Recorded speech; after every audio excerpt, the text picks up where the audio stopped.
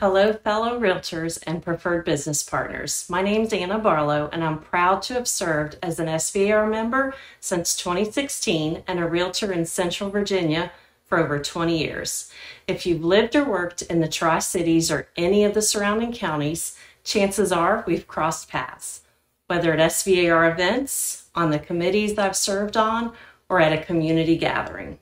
I've lived in all three of the Tri Cities and two of the neighboring counties, so I truly understand the needs and dynamics of our unique real estate market.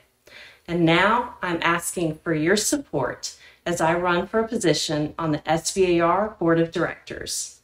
Before real estate, I served our country on active duty in the U.S. Navy as an aviation structural mechanic working on search and rescue helicopters during Desert Storm.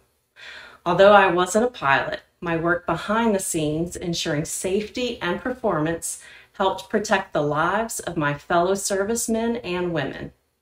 I bring that same dedication, leadership, and attention to detail to everything I do.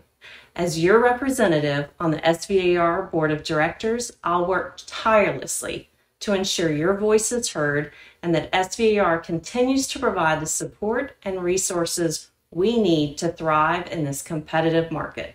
So, as we move forward into another exciting chapter for real estate in Southside Virginia, I humbly ask for your vote. Together, we can continue to build a strong, supportive community for all our members. Thank you.